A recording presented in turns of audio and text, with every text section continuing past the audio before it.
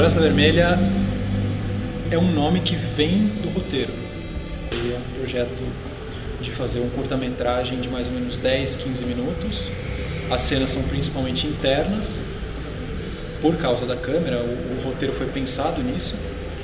E a gente queria gravar em RAW e gravar numa resolução acima de 2K. Então foi assim que começou. A gente fazia pesquisa já em Linux de como editar, fazer todo o workflow de gravação de Linux, primeiro em DV, depois em alta definição. O passo lógico era ir para o cinema digital, porque a gente viu questões de orçamento, questões de câmera e tal, a gente decidiu que o orçamento da Red One ia ser muito proibitivo. E a gente foi buscar alternativas e viu que tinha uma comunidade usando uma câmera que era open hardware. Então ela tinha tudo a ver com o nosso projeto, que a gente ia fazer um cinema digital em software livre. Aí a gente pesquisou primeiro o workflow de como poderia ser uma gravação real com aquela câmera e acabou se envolvendo mais e isso deu origem ao que efetivamente virou Floresta Vermelha.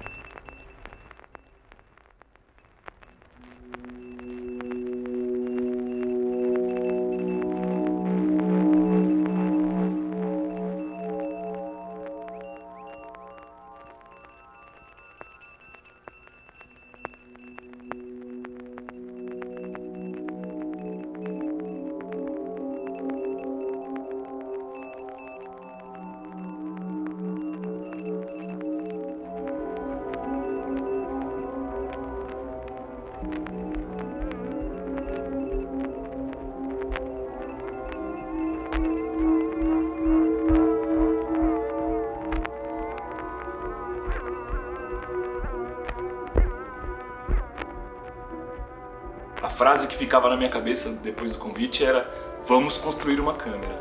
A câmera é uma Eufel, a mesma utilizada pelo Google Street View. Mas aqui ela aparece com alguns detalhes a mais. É uma empresa que faz, eles emprestaram para a gente por um tempo, em troca de pesquisa. Então eles não forneceram a lente, a gente adaptou uma lente dos anos 70, essa é uma lente de uma câmera Super 8. A gente teve que daí colocar um outro adaptador que abrisse esse ângulo, porque eram, né, eram todas internas. A ideia do Floresta é, é me ganhou desde o início, assim, que, tipo, fazer um negócio meio que inédito, assim, né, tipo, pelo ativismo do, do, do tema, assim, já, já me comprou, assim, sabe? Fiquei realmente né, muito motivada pela questão, principalmente da ótica, da câmera como mecânica é, também do conceito de ser open hardware, né? A gente considerou que é uma câmera emprestada, então a gente também fez um custo-benefício. A gente pegou um HD que a gente já tinha e aí montou essa coisa aqui para ela gravar. A informação sai no LAN para a gente controlar a câmera. O que ela gravar sai num cabo SATA aqui para o HD que está ligado por sua vez num cabo de força para ele ser ligado na tomada. Como que se dá o hack? O hack dela era totalmente controlada por, por rede. Acho que grande parte do, do conhecimento, da, da, parte tecnológica que a gente não via nas conversas, que não, não saía nas nossas conversas sobre o, o projeto, foi explorada na, nas oficinas no, no Centro Cultural Espanha, né? É, então foi ali que, enquanto o Flávio passava um pouco sobre os aspectos tec tecnológicos e técnicos da, do projeto, que a gente começou a falar, putz, o negócio é bem complexo, né? Quando de repente alguém pergunta, ah, como é que a gente liga a câmera e o Flávio tem que escrever um código de três linhas para ligar, dá um friozinho na barriga. Eu não conhecia o Flávio antes do projeto, né? Eu conheci, conheci ele uns dois meses antes, eu acho, que o projeto aconteceu, talvez três, num teste que fizeram numa casa de cultura digital. E foi divertido porque o projeto já começou um pouquinho diferente aí, né? O teste foi numa casa de cultura. É, eu passei por todo um processo de testes da câmera com o Flávio, né? Então logo que ele recebeu a câmera, a gente combinou uma manhã na casa dele. Tá, vamos ver então se a gente consegue filmar, fazer a imagem. Tempão, tempão, tempão, tempão, fomos embora, não conseguimos fazer a imagem. a primeira vez que a gente conseguiu fazer a imagem, eu virei pro Flávio e falei, pô, legal, deu certo, então deixa eu assistir, né? Aí ele falou, putz, eu vou demorar uns 20 minutos pra descobrir como é que faz pra assistir isso aqui. Falei, nossa, meu, eu preciso ir embora, não dá pra ficar pra assistir, mas é tipo curioso. Pô, a gente conseguiu fazer a imagem, mas vai demorar 20 minutos pra descobrir como a gente pode assistir, né? Porque a interface da câmera era em linha de código, né? Então ele, é... ele tinha que meio que programando enquanto estava filmando.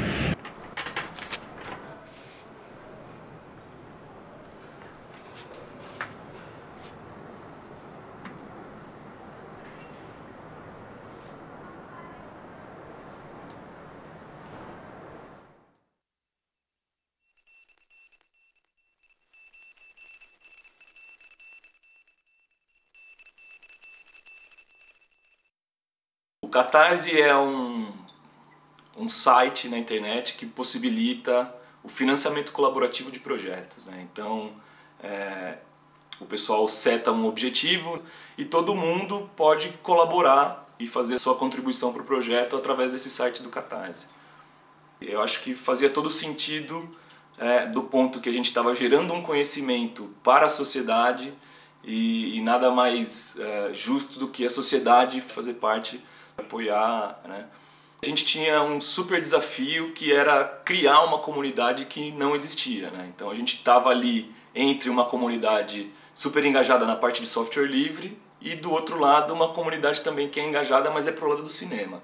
Então, o grande desafio da gente conseguir pessoas, né, engajar pessoas para a campanha do Catarse, foi de criar essa intersecção entre as duas comunidades. Né?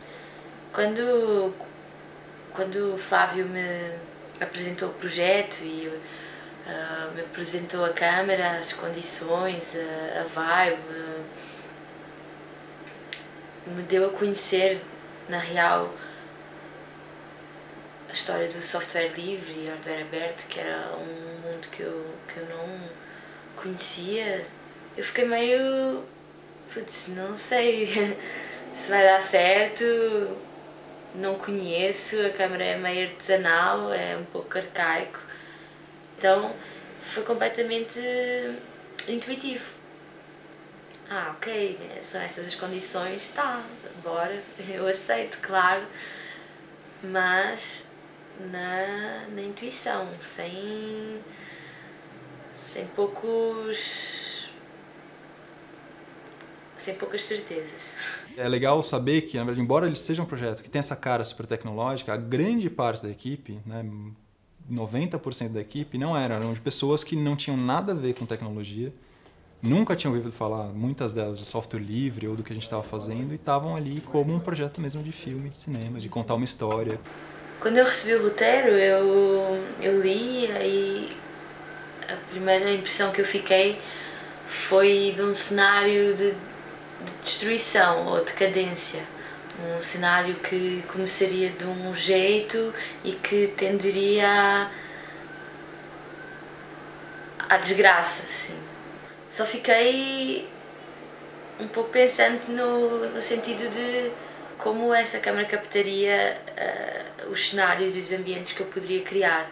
Está acostumado com com essa recíproca com essa recíproca imediata, né? Assim, eu faço uma foto e eu olho já no visor como é que ela tá. Um vídeo é a mesma coisa, né? Eu vou monitorando ao mesmo tempo. E todo essa Frankenstein foi montada com a Eiffel, ela ela tem toda uma logística completamente diferente, né? De você projetar ali a situação de luz, montar tudo e você tem que ir num outro ambiente e ver como é que aquilo tá em vídeo.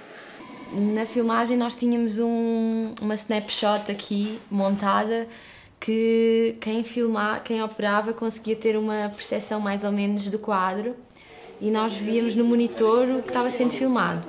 É, olha aqui. Eu acho uma boa, na real. Câmera foi.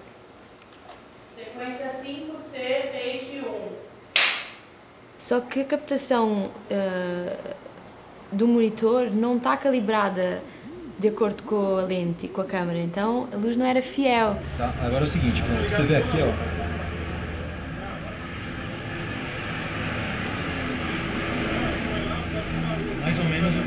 lá, só que tem uma diferença.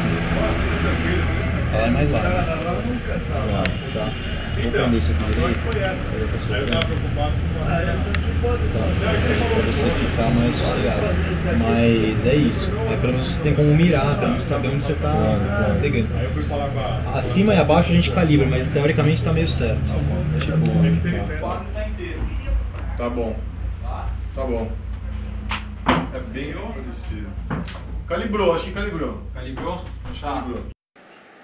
Eu até lembro que eu achei muito engraçado o, o pose gravando, né, cara? Porque, tipo, ele tava fazendo um stage assim e não tinha ideia do que ele tava gravando. tipo, o cara mandava assim, tipo, sei lá, de repente ele tava gravando teto, nenhum ator, assim, mas. E, assim, como, como câmera, palmas pra ele, assim, porque. Chegou, levantou, ele tá O cara é muito rock and roll. Isso tudo pega. Então, isso tudo você vai estar. você acompanha ele levantando. Na verdade, você vai estar pegando provavelmente os dois aqui, ó. Aí ele vai tirar esse casaco. Vou botar tipo daqui então. Exato. Tá? Então ele vai tirar esse casaco. Talvez ele ponha essa máscara antes. É... Gustavo, você acha que você põe a máscara antes ou depois de tirar o casaco? Você acha que você põe a máscara antes ou depois de tirar o casaco? Antes. Antes. O barulho que ele vai fazer é de fechar a porta. Então dá, dá o tempo depois de fechar a porta. Tá. O ideal é vocês entrarem na hora que o Bruno já estiver vindo pra cá. Tá. Tá? Então vamos lá.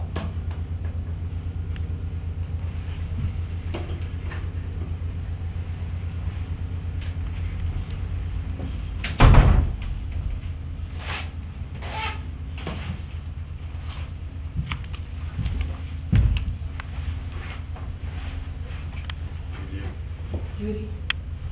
Eu vim assim que eu pude.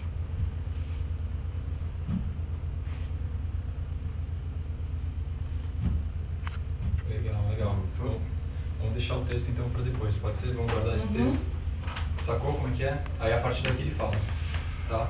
O importante é esse começo. No momento que a gente filmou aquela cena, todo mundo saiu dali. Ficou só a gente e a câmera, né?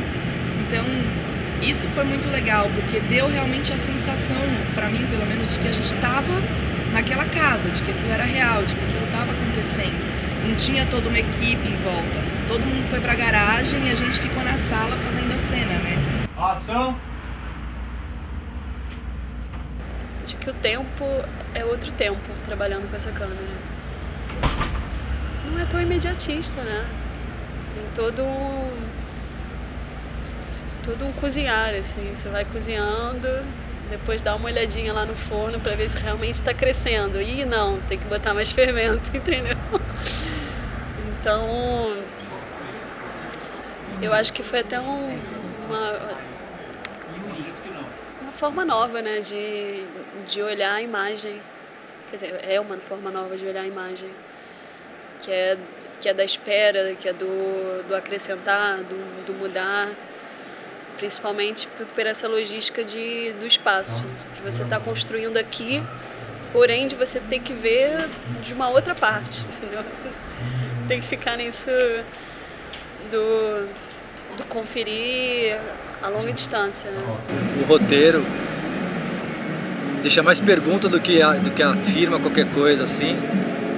Eu acho que combina muito com o tema, assim, sabe? Do lance do tipo, meu, não é pra questão de, de querer resolver nada nesse primeiro filme com uma câmera aberta, assim. Deixar um monte de pergunta e deixar o filme pronto, assim, sabe? Vamos lá, rolando.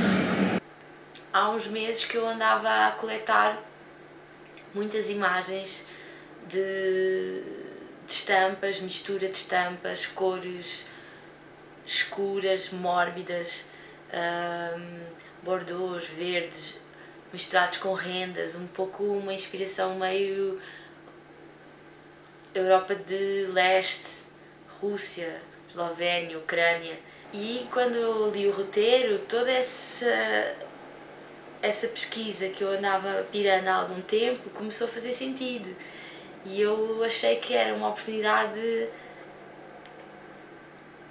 tipo única assim, daquelas coisas que parece que têm que ser que quando eu li eu já tinha toda a imagem do filme na minha cabeça, assim, que eu tinha estado a coletar há meses sem saber que esse filme ia existir.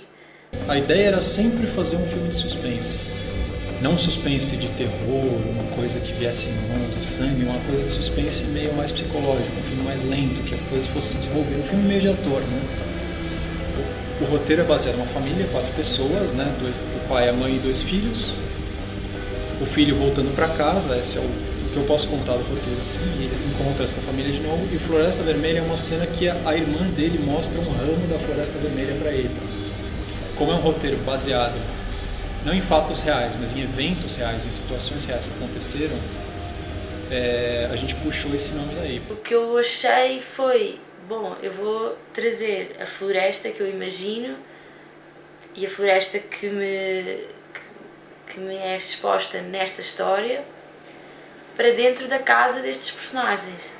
Foi assim a minha linha de pensamento, exatamente, a invasão.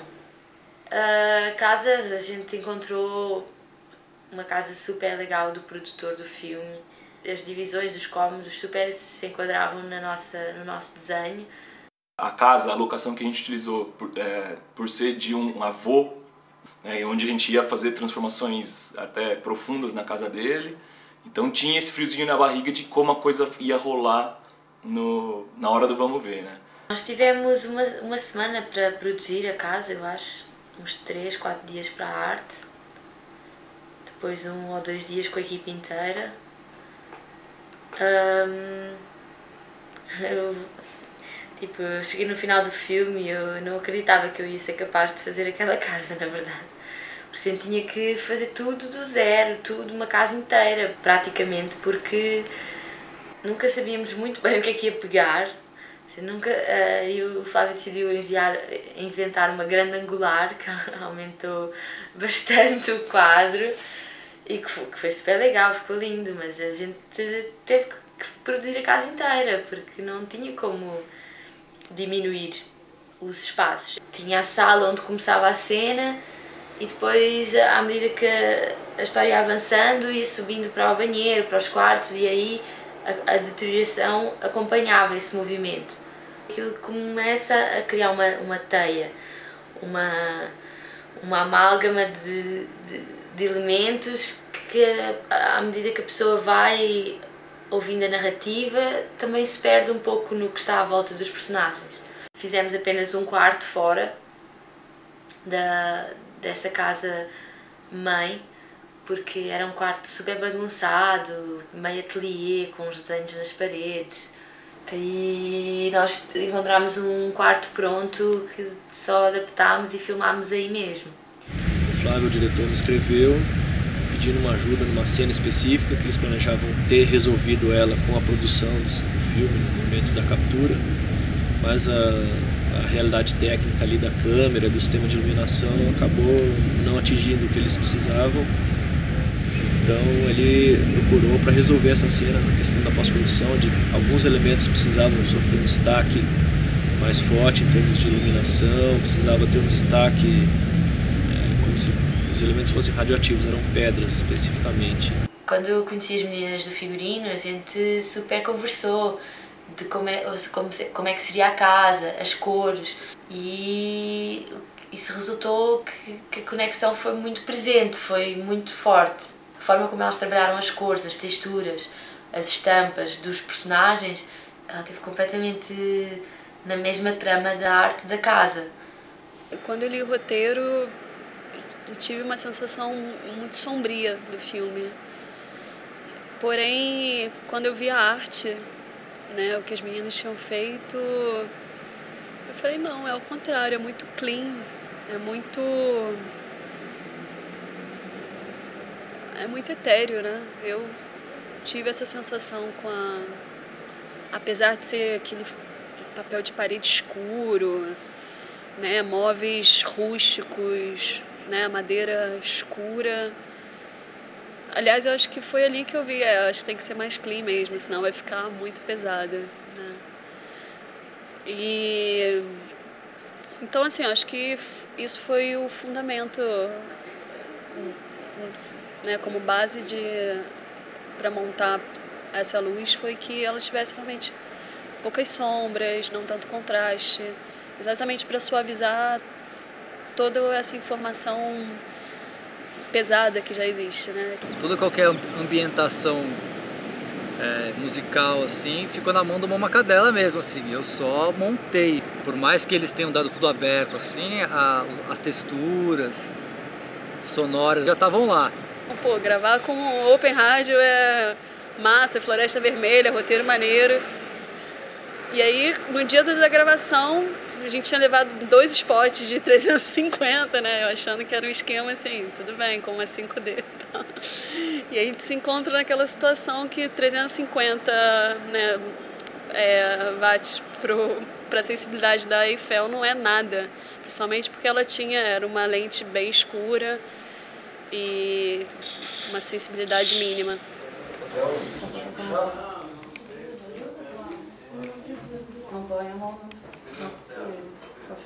Acho que a primeira que a gente gravou foi da teia de aranha, né, né, lá em cima, ele subindo a escada.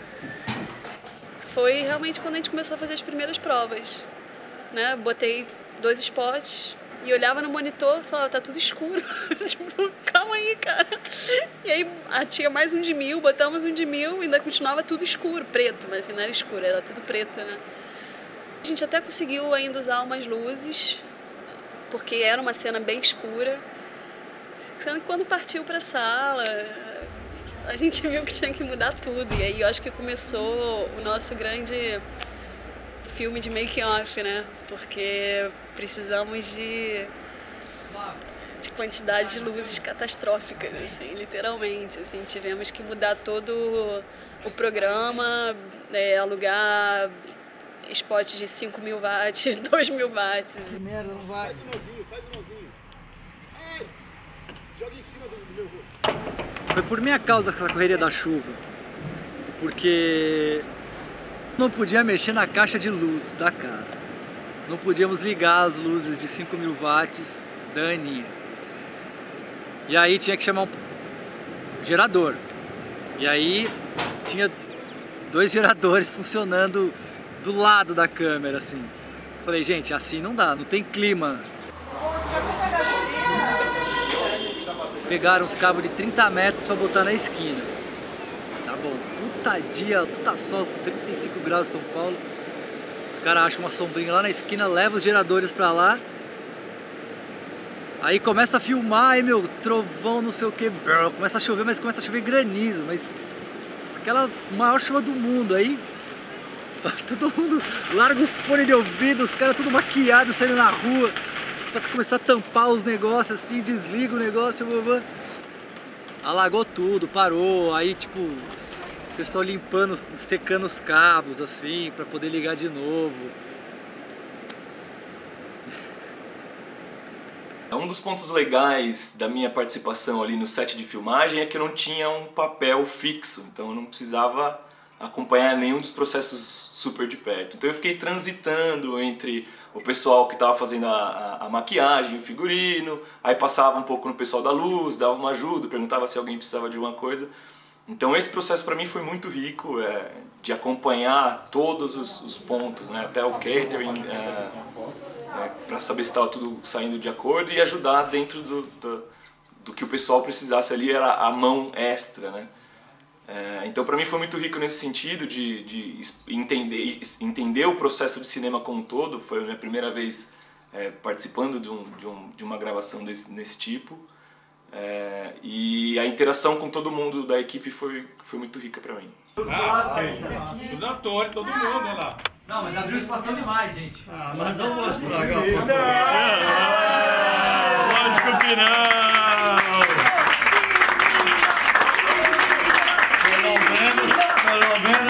Me, vão me permitir que eu ponha um pouco de água de cheiro. Senta ali no sofá para fazer uma foto, senta ali. Tudo tranquilo, Vou sentar perto dela. E chamou a atenção o quanto a gente agitou a região, né? a rua, o pessoal parava, perguntava o que estava acontecendo. Né? Bom dia, amor. Não, abaixa aí, abaixa aí causa da câmera. Não, mas ela tem que aparecer a câmera. Quando eu imaginei ah, os dias de prática da filmagem, eu achei que ia ser é, mais tranquilo. Eu não, eu não imaginei que o Flávio ia conseguir mobilizar tanta gente assim. Por uma ideia tão maluca e tão ousada assim. Eu não, não achei que ia ter tanta gente, tanta gente que ia comprar essa ideia. É, eu preciso que eu. Você vai ficar aí? Vou. Desse jeito assim? Vai tirar O que eu tinha imaginado do filme era uma coisa mais silenciosa e mais sombria nesse sentido, do medo do silêncio, assim. Só que não consegui achar esse ambiente deserto, assim, sabe? Essa coisa meio abandonada. E aí foi uma, foi uma opção estética misturar coisas de mentira com coisas que aconteceram de verdade ali pra uma coisa colar na outra, assim, sonoramente falando. Ônibus, helicóptero, risada, criança brincando, sonho, enfim. A coisa teve que ir um pouco mais pro, pro surreal do que pro desértico, assim. A gente só tá experimentando. Então vai, Varinha. Isso aí, câmera foi. Mas já é ação aí. Foi muito divertido trabalhar com a Clara, porque ela tinha aquela empolgação de criança e às vezes ela ficava com vergonha de fazer as cenas, é, mas ao mesmo tempo ela estava empolgada, então era divertido ver aquela ambiguidade. Em algum momento ela percebeu que tinha uns doces espalhados assim pelo set, e daí cada vez que ela fazia uma cena ela pedia um doce, era ótimo, sabe? Ela era uma criança e ela estava propondo o tempo todo. Espontânea, né? Muito espontânea, é. Só quando você falar, eu, olha, veja, se eu pergunto o que é, daí você abre e me mostra. Ah, tá. Então eu falo de novo? É, espera ele dar ação, daí a gente vai. Quer que eu dê ação? Por favor. Dá uma claqueta aí, por favor. Aproveita já que você tá aí e dá uma claquetada aí. Quer que eu dê? Vai lá, Nath. Aí. A ação. Olha, veja isso. O que é? É um ramo da floresta vermelha.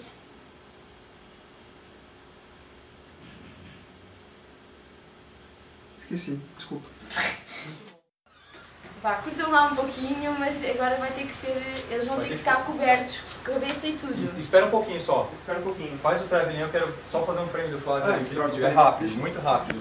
Só vai arrumando, Claudinha, pode ir arrumando. Não, não posso porque eles vão ficar todos cobertos. Então tá, então tá, Vai ser- peraí. Arruma tipo é a última coisa. Então tá, tá bom. É, eu preciso testar pra ver se funcionou vai, a, vai indo, a gambiarra. A gente tem que testar esse cabo também. Ó, ele não pode ficar nesse limite onde ele tá. Ele não pode fazer essa curva, tá vendo? Vem, Claudinha.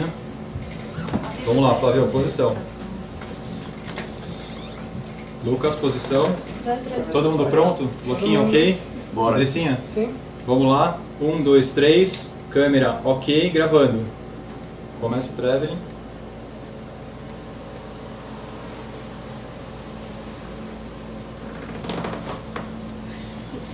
Faltou da luz.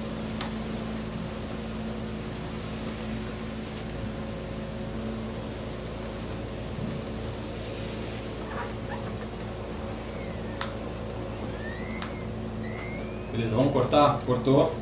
É isso aí, gente. Tá- o tempo tá ótimo. Traveling também? Gravando no tempo, tá ok? Ritmo. Achei que tava um pouco lento, ele chegou É, bem antes que eu. Apaga essa luz, então, por favor. Gente, calma. Pera aí. Pera aí, gente. Tem alguma coisa errada aqui. Desliga, desliga essa luz. Pera aí, gente. des- Destapa o pessoal aí. Pera aí, que eu, eu tô com medo só de eu não ter perdido a comunicação com a câmera aqui. Isso é super importante. Pera aí. É, só. Eu tava com medo que não ia rolar pela, pela organização, mas eu vi que tava. Só rolou mesmo, porque tava todo mundo muito empenhado, muito empenhado, assim. Tipo. Deu merda toda hora, a todo momento, todos os tipos de merda que, que, que pode imaginar, assim. Tipo, tudo, tudo. Acabou luz, ficamos sem luz, não podia ligar no quadro. tipo, o vô do menino lá não podia. Tinha que sair de vez em quando pra esticar as pernas. É, passava ônibus na rua. Teve festa de criança na casa do lado. Tipo, 20 crianças pulando, gritando. A tiazinha brincando, bambalalão. E a gente lá, tipo. "Ah, ah!" Uma loucura. E aí, tipo, só rolou porque tava todo mundo, meu, paciência nos, sabe, todo mundo lotados de paciência, assim, pra falar, não, vai ter que rolar tal. E a gente suando debaixo do suéter ali, tipo, pingando, filmando tropical ali. 4 mil luzes de 20 mil watts ligadas, fazendo sol derreter ali. E todo mundo, não, vamos lá, com calma, não sei o que. Esquentava o HD, tinha que parar, botar o HD no freezer pra ele esfriar. Parecia a fonte do Atari, né? Que você jogava a tarde inteira fritava a fonte do Atari, aí botava no freezer pra ele esfriar um pouquinho, voltava pra jogar um pouquinho. Rolou pelo empenho, o empenho de todo mundo assim fez o negócio virar. Foi foda. É incrível como os pontos de vista das pessoas que, que trabalham no filme é tão, é tão diferente e se completam tão bem. E isso é tudo é muito louco. Uh, e para mim foi uma experiência incrível participar neste filme em que todo mundo estava de sangue uh, trabalhando sem qualquer opressão nem nem a nível de, de ideias nem a nível de, de rapidez porque é uma loucura estarmos num trabalho experimental uh, não podendo realmente desfrutar dessa experiência. Com tanta ordem, com, tanta, com tanto rigor, o filme realmente é do diretor, num cinema convencional. E aqui foi um filme de todos e fez toda a diferença.